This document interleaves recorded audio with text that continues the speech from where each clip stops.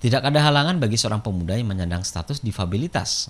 Warga Lolong Kuranji, Kelurahan Sungai Sapi, Kecamatan Kuranji, Kota Padang, yang bernama Jeff Henry untuk mengais pundi-pundi rupiah. Meskipun memiliki kekurangan pada kaki sebelah kiri, Jeff Henry berhasil dalam memudiakan jangkrik.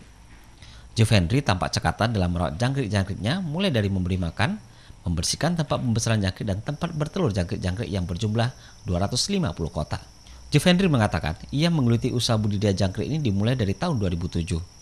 Konsumen jangkrik ini berasal dari pencinta burung ataupun penggemar mancing.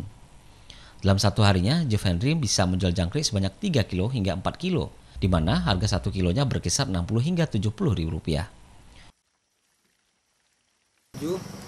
Kan konsumen pada umum dari para pecinta burung, pecinta burung dan para peminat yang suka mancing rata-rata satu hari dijual berapa bang apa itu?